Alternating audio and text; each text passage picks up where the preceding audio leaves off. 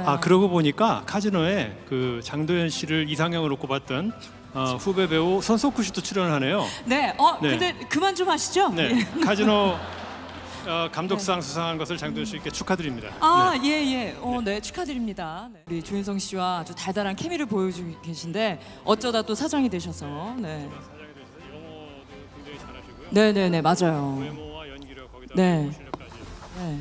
네, 제가 아, 독백을 하시는 줄 알고. 예, 그러니까 저만 들어야 되는 줄 알고. 네. 예, 깜짝 놀랐는데 외국어 실력에 대한 칭찬을 하셨죠? 예, 한, 한효주 씨 수상 소감에 너무 집중하느라고 넋을 잃고 보셨군요. 네, 마이크를 놓고 말씀을 드렸습니다. 네, 네. 마이크는 네. MC는 꼭 쥐고 계셔야 네, 돼요. 네. 네. 네, 외모와 연기력 거기다 외국어 실력까지 저도 저 노래를 듣는 동안 제가 반짝였던 순간들을 네, 돌이켜봤습니다. 아, 반짝이지 않았나 싶습니다.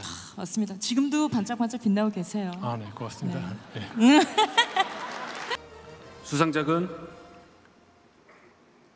여기 5초 정도 쉬어주세요라고 써 있네요. 5, 4, 3, 2, 1, 큐. 수상자는 앞에 변요한 씨는 5초 써 있었는데 저한테는 1초밖에 안 주셨네요. 네. 네. 둘, 셋. 네. 저도 정말 수험생 여러분 화이팅! 아, 감사합니다. 우리 수험생 여러분들의 컨디션까지 걱정해 주신 아주 따뜻한 말씀. 아마 TV 보고 계신 수험생분들은 좀 뜨끔했을 것 같은데. 네. 아까 카운트다운 해주니까 아주 좋더라고요. 해 드릴까요? 네. 5 4 3 2 1 큐. 네, 제 59회 대종상 영화제 이제 마쳐야 할 시간인데요.